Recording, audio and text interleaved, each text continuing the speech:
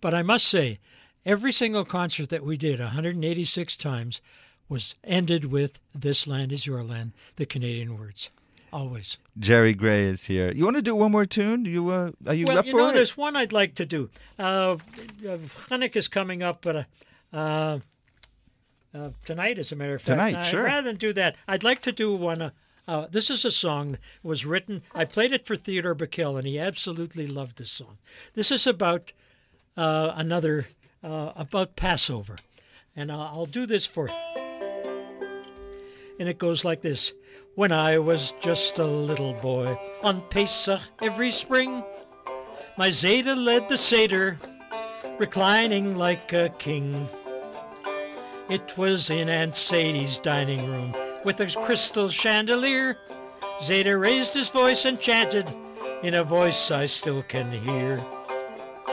And we sang Ha Lakhma Anya all the way to Chad Gadya, while my uncles, aunts, and cousins followed in the Haggadah.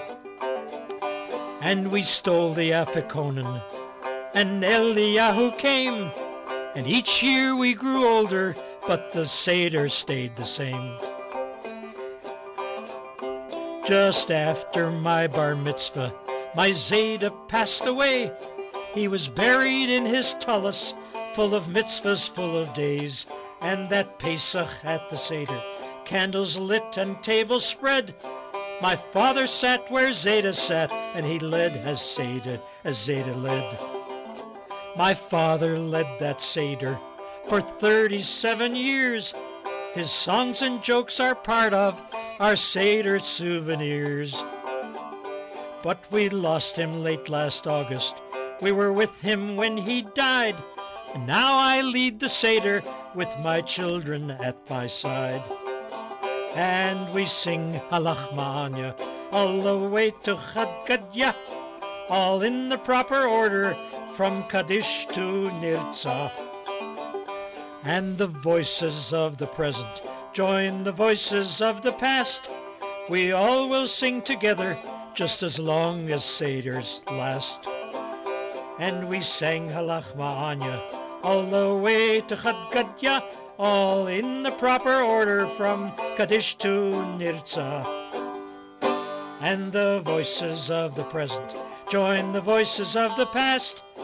We all will sing together just as long as Seder's last.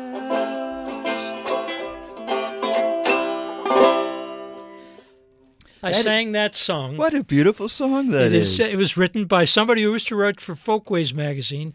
He took a course in uh, in folk music, and then he became the uh, head of the Canadian National Museum. But he always loved folk music. He's with a group called the Finest Kind.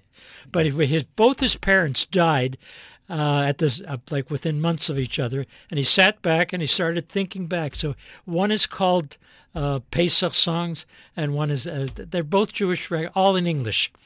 And I, I, I do this. I did this at a Japanese group. I thought I'd try it, and they said it's not a it's not a Jewish song. No. It's a Japanese song. What? And every ethnic group has its own uh, story about dinners or whatever.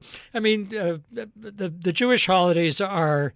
Uh, they tried to kill us. They didn't succeed. Let's eat. Let's see. Yes. and Jerry, that's how it works out. Jerry, I really appreciate coming here and sharing your stories. If uh,